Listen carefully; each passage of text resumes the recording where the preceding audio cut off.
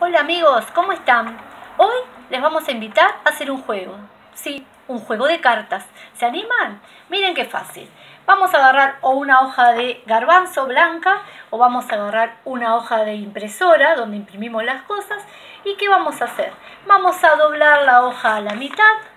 Después la vamos a doblar a la mitad, siempre punta con punta y otra vez a la mitad para que cuando la abra me queden 8 cartas. ¿Qué hago cuando la abrí? Con una tijera y cada uno como pueda va a ir cortando por las líneas y con mucho cuidado.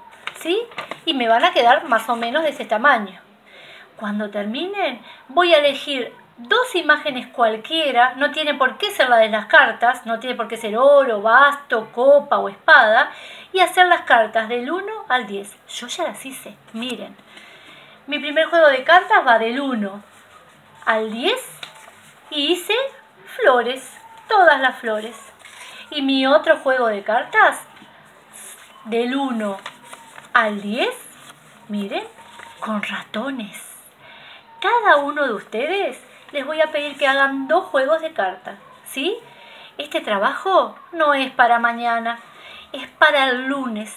El lunes todos tienen que tener las cartas porque a partir de ahora se vienen muchos juegos, ¿eh? Los esperamos. Un beso.